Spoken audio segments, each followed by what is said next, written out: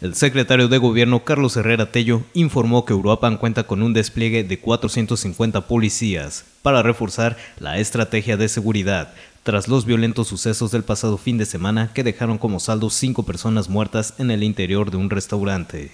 En entrevista, el encargado de la Policía Interna mencionó que a este número se suman los efectivos de la Guardia Nacional y del Ejército Mexicano, que ya se encuentra en el proceso de coordinación con Estado y Ayuntamiento. Bueno, por supuesto que eh, este fenómeno terrible, horrible de la violencia que estamos viviendo los y las mexicanas eh, requiere atención permanente y diaria, todos los días.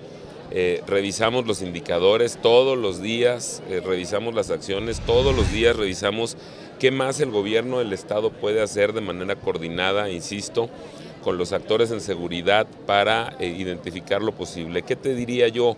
Van, sexenios van, sexenios vienen y las cifras de asesinatos y de violencia a lo largo y ancho del país siguen aumentando. Esa es una realidad más allá de cuestiones ideológicas, más allá de cuestiones partidistas, si ustedes revisan eh, los índices delictivos de los últimos 24 años, cada vez nuestro país eh, registra mayores eh, indicadores de violencia. Michoacán, por ejemplo, el día de ayer revisaba los datos de Michoacán, pues Michoacán pasó de ser el primero, siendo este el más violento en la última década, a ser el número 14. Sin embargo, no es suficiente, aún tenemos mucho trabajo por hacer. ¿Qué tenemos que hacer diferente?